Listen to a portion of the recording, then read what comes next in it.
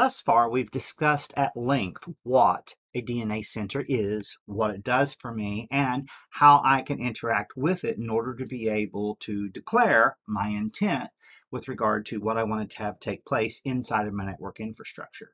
In this portion of our theoretical conversations, we want to look at the form factor that's going to be associated to a DNA center. A DNA center is going to end up being a hardened network appliance that is going to ship in the form of a UCS C220 M5 server. And when that server arrives, we will need to set that application server up. And inside of the DNA center deployment and the DNA architecture model that we've been discussing, we know that we want to leverage the power and the capability of a cluster of resources. We want to cluster these devices in such a fashion to support the ability to be able to lose one and still maintain all of our core operational features and capabilities. This is going to translate to the principle of high availability, not to be confused with disaster recovery. In the context of DNA, disaster recovery is going to be a completely different discussion. So right now, what we want to do is we want to focus on the fact that we're going to be building this infrastructure that we're going to be using in our lab moving forward from this moment on. That is going to include three DNA centers running on the C220 M5 servers that I described earlier. Now, when we get these servers, we're going to have to interconnect these servers into a network environment, and that network environment is going to be referred to as our shared services block. Other devices and resources will be added to this block of devices to include DHCP servers, DNS servers, or IPAMs, as well as in my specific lab, our wireless LAN controllers.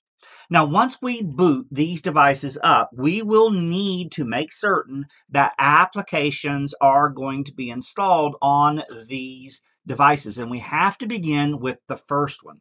The first device is going to end up being what we refer to as our seed controller.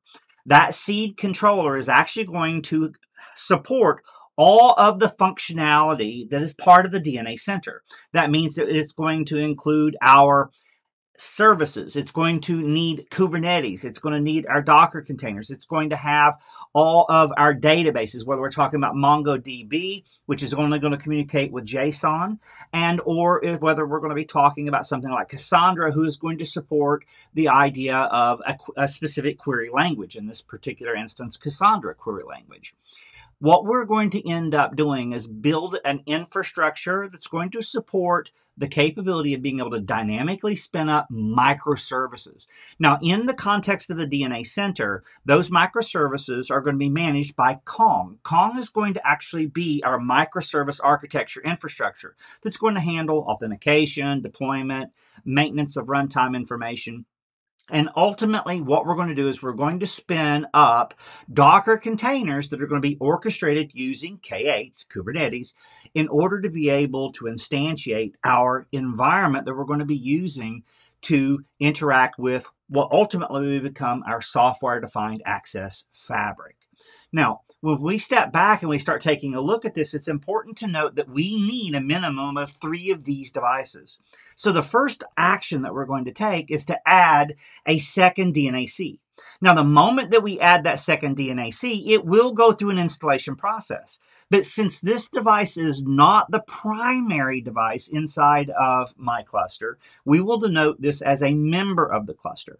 Now, it still will receive applications that will be installed on it to include all of the baseline configurations when it comes to the RabbitMQ, which is going to be our messaging broker. When it comes to our file system, which in this case, which is going to be the Gluster file system, those databases that I described, as well as Docker and Kubernetes. And we'll explore all of this at the command line and inside of the graphical user interface once we get our cluster up and operational. In fact, we'll explore it during the construction of our cluster. And remember, I said that we needed three DNACs.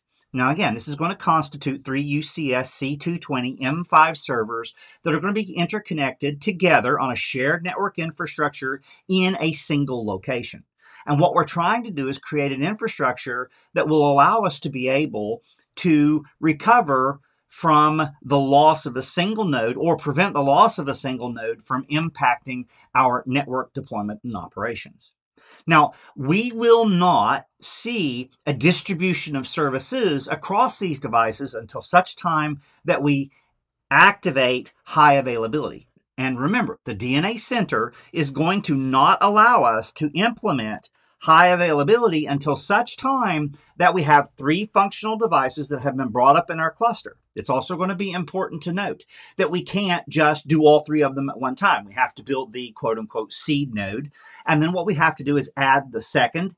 And then when the second device is added to the cluster, we have to add the third. But this doesn't give us out of the gate any high availability functionality. It's not until we activate HA and distribute resources across these devices that we're going to be able to get the benefit of our cluster. So what will end up happening is, is the Fusion services and the NDP services will be distributed across all three servers. So what we're seeing here is, is we are going to have Kong in all three. We are going to have Fusion services and NDP services running on every one of our devices that are part of our cluster, as well as all of the core foundational resources and services like Kubernetes and Docker, Cassandra, as well as RabbitMQ. Now, the moment that all of this new infrastructure is going to be implemented, what we're going to find is, is that our services will be redistributed across these three devices in order to be able to provide our highly available environment.